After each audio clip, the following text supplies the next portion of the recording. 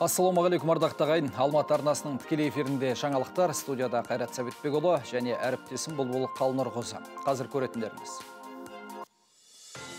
Ақтөбе облысында заңсыз аң аулағандар ұсталды. Республикалық киік жедел алдын алу іс-шарасы аясында табиғат қорғау заңнамасын бұзған қанша дерек анықталған.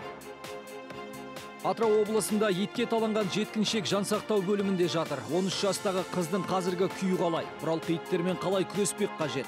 ит дейтін малға да шауып отыр мына жақта ит көп бұралқы иттер көп Мәжіліс депутаттары зейнетақы жинағындағы жеткілікті шекті қайта есептеп, кінәлілерді жазалауды талап етті. Ақтөбе облысында дала жануарларын заңсыз атқан браконьерлер ұсталды. Республикалық киік жедел алдын алу іс-шарасы аясында Алға ауданының 36 жастағы тұрғынның жүк салғышынан 6 жабайы шошқа ұшасы, 4 бірлік аңшылық мылтық және 113 патрон табылған. Жүргізушіде бір ғана жабай аңды атуға рұқсат қағазы болыпты. Өңірлік полиция департаментінің хабарлауынша, бұл іске қатысты тергеу басталған. Сала қызметкерлері жедел алдын алу іс-шарасы барысында 14 күнде табиғат қорғау заңнамасын бұзған 92 дерек анықтаған. Қылмыстық топтар қызметінің жолын кесу мақсатында қолға алынған бұл шара 31 желтоқсанға дейін жалғасады. Атырау облысы Дамбы ауылында ит қапқан 13 жастағы қыз қазір жансақтау бөлімінде жатыр. Жеткіншектің жағдайы орташа ауыр, оның беті де жарақаттанған. Ал қала көшелерін кезген қаңғыбас иттердің қаптап кеткеніне осыған дейін тұрғындар бір емес бірнеше рет шағым түсірген болатын. Мәселенің мән-жайын өңірдегі тілші айтады. Бұл жағдай 13 желтоқсан күні кешкі уақытта болған үйірмеден үйіне қайтып бара жатқан 8 сынып оқушысына бұралқы иттер шапқан. Төрт итке таланған қыздың жағдайы орташа ауыр, оның беті де жарақаттанған.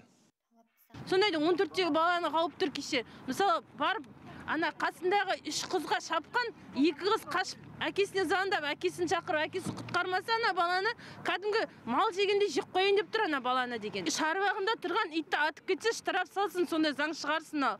Ал көшеде жүрген итті атса ешқандай штраф салу үкіметтің мен қалай қалай отырып заң шығаратынын түсінбеймін мен. Ит дейтін малға да шауып отыр мына жақта. Ит көп бұралқы иттер көп. Енді қазір заң шығарып қойды ғой иттерді атуға болмайды деген. Қайдағы шыққан зат сонда иттің мәртебесі адамның мәртебесінен жоғары болып тұр ғой Жыл басынан бері мұнайлы өлкеде үй жануарларынан жапа шеккен 400 бала балалар ауруханасына түскен. Ал осы жылы Атырау ауылдық округінде заңды түрде көше кезген 348 иттің көзі жойылыпты. Жергілікті әкімдік болса бұралқы иттермен күресу әкімдік құзырында емес. 2020 жылдан бастап ветеринария басқармасының жауапкершілігіне өткендігін айтып ақталды. Ол деген даладан келген ит емес, өзіміздің шаруамыздан шыққан иттер неге біздер сол мына итті асырардың алдында неге бізде жауапкершілік болмайды неге бізде ә, сана сезім болмайды неге біздер оны дұрыс ұстамаймыз немесе ұстамыз келмейді ма ветеринария бөліміне айтып ә, бастарын жойық Ал мамандар жеке үйлер мен пәтерлерде үй жануарларын ұстау үшін ветеринарлық құжат алу, байлап ұстау, асырау және тұмылдырық кигізу керектігін естен шығармаған жөн дегенді алға тартады. Райымбек Сафиолла, Айбек Байзақ, Атырау облысынан.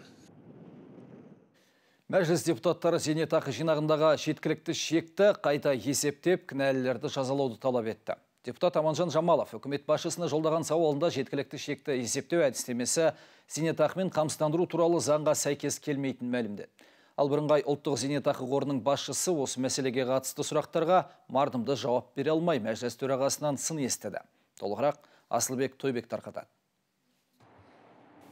Зейнетақы жинағындағы жеткілікті мөлшерді пайдаланып үлгермеген азаматтар жылдың соңында сарсаңға түскені белгілі. Себебі 3 желтоқсанда бірыңғай жинақтаушы зейнетақы қорындағы зейнетақы жинағына қатысты жеткілікті шектің өсетіні хабарланған еді. Бүгін мәжіліс депутаттар алдына келген аталған мемлекеттік мекеме басшысы Жанат Құрманов жеткілікті шектің неге өскенін уақытында түсіндірмеген үшін сын естіді. Сақтандыру нарығы туралы заң жобасын талқылау кезінде депутаттар оған бірлескен ерлі зайыпты аннуитеті туралы сұрақ қойды. Алайда Жанат Құрманов мардымды жауап бере алмай қиналды.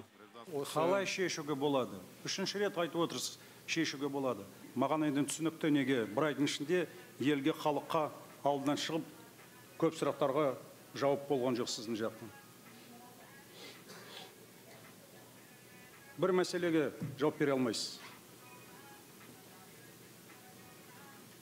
тікелей сұраққа сол жақтан да оң жақтан кіретін жолды іздеп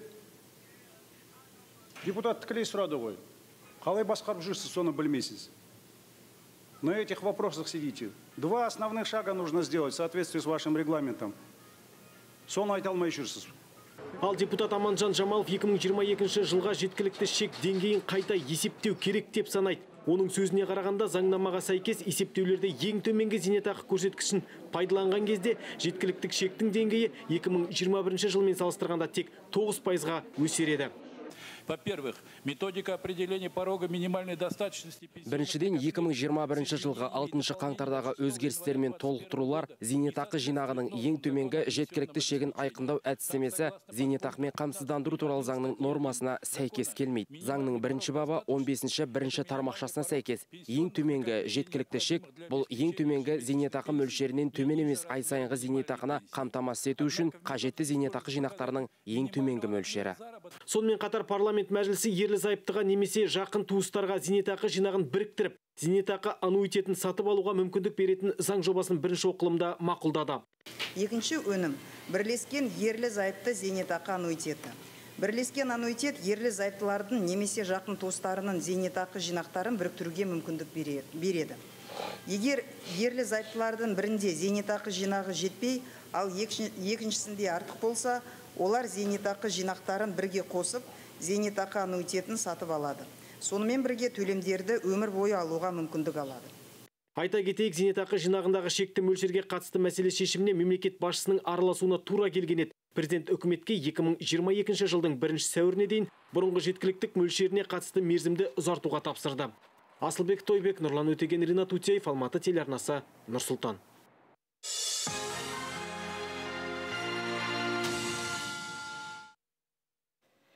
Одан әрі жалғастырамыз. Алматы еліміздің спорт федерациялары арасында дауыс беру нәтижесі бойынша үздік спорт өңірі номинациясын жеңіп алды. Ұлттық Олимпиада комитеті Алтын самғау 2021 сыйлығын табыстады. Бұл туралы қала әкімі Бақчан Сағынтаев Твиттер парақшасында жазды. Шақыр басшысы мегаполистің спорт қауымдастығы мен тұрғындарын үздік спорт өңірі номинациясындағы жеңісімен құттықтады.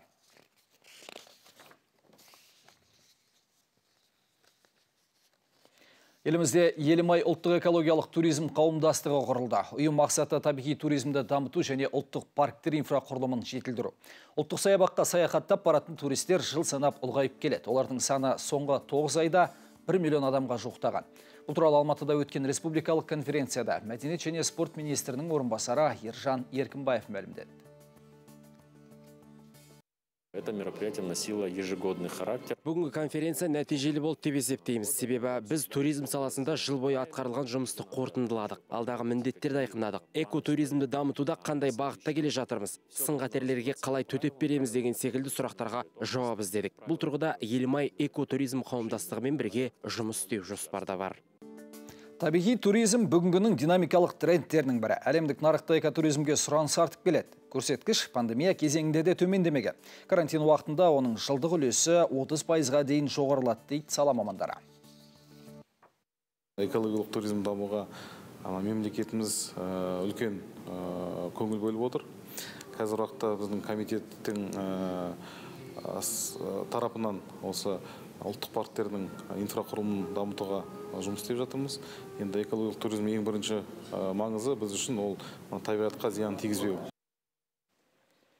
Алматыда ел тәуелсіздігінің 30 жылдығына арналған рекордтар кітабының 12-ші басылымы жарық көрді. Туындыда Қазақстанның спортшылары, медицина, режиссура, әдебиет салаларының қызметкерлері, жыл адамдары сондай-ақ фотографтар мен қолөнершілердің тың дүниелері жарияланған. Ұйымдастырушылардың мәлімдеуінше биыл жинақ ішіндегі деректердің үштен бірі қайта жаңартылып, тың мәліметтермен толықты. Меркелік шарада Гиннестің рекордтар кітабына енген қазақ титаны Алмат Шуманов, 14 жастағы жас композитор Нұрәлі Бейсеқожа және тісі арқылы 32 келі гір көтерген Айдын Нұржыма өнер көрсетті. Жиын соңында отандық рекорд орнатқан 14 адам арнайы сертификатпен марапатталды. Біз тек қана мына тың істерді рекордтық нәтижелерді ғана тіркейміз. Сондықтан да мына биографиялық көптеген мәліметтер сонар мәліметтер жоқ. Фактылар лаконикалық түрде беріледі екі үш сөйлеммен ғана. Және де біз көптеген рекордтардың ішіне тек қана адамды рухтандыратын шығармашылық табыстарға жетелететін жетістіктерді ғана тіркеуге тізуге тырысамыз. Егемендіктің 30 жылдығына орай Алатау ауданының тұрғындары да марапатталды. Түрлі саланың дамуына өзіндік үлес қосып жүрген мамандарға Қазақстан тәуелсіздігіне 30 жыл медалімен аудан әкімнің грамоталары табысталды. Зиялы қауым өкілдері қатысқан салтанатты шарада Алатау дәстүрлі өнер театрының әртістері өнер көрсетті. Осы 30 жылдыққа орай біздің еңбегімізді бағалап, президентіміз медаль беріп жатыр сондықтан да көп рахмет айтамын осындай марапат мен үшін өте жоғары марапаттардың бірі Парижді мойындатқан қазақ қызы. Танымал көтере Кристиан Диордың бойтұмырына айналған өткен ғасырдың 50 жылдары атаға жер жарған модель Алла Елшіннің өнегелі өмірі Алматыда ұлықталды. Әйгілі еуропалық дизайнерлермен 20 жылдан астам жұмыс істеген қазақ ару туралы деректі фильмнің тұсауы кесілді. Алла, Диордың шығыс маржана атауы берілген туындыда көпке танымал модельдің еңбек жолы баяндалған. Салтанатты түрде ұйымдастырылған іс шараға Францияның Қазақстандағы бас консулы мен елшісі, сондай-ақ өнер сүйер қауым қатысты серьезно заняться. Бұл фильмді түсіруге Алла елшінің өмірінің соңғы жылдарында өнертанушы Александр Васильевке берген сұхбаты себеп болды. Әйгілі модель сол кезде оны еуропалықтардың Қытай азаматшасы деп танығаны жаңсақ пікір екенін, негізінде өзінің қазақ қыз екенін мәлімдеген. Сондықтан тағылымды ғұмыр ел жадынан ұмыт қалмау керек деп шешкен Берлин Иришев директі фильм түсіруді қолға алған еді. Айта кету керек, соғыстан кейінгі жылдарда сан әлемінде өзінде қолтаңбасын қалдырған қазақ қызы туралы директі фильм Франция төрінде де қойылды. Туынды келесі жылы ақпан, наурыз айларында кино сүйер қауымға жол тартады. Құрметті көрермен, әзірге айтарымыз осы, қорытынды жаңалықтарда қайта қауышқанша.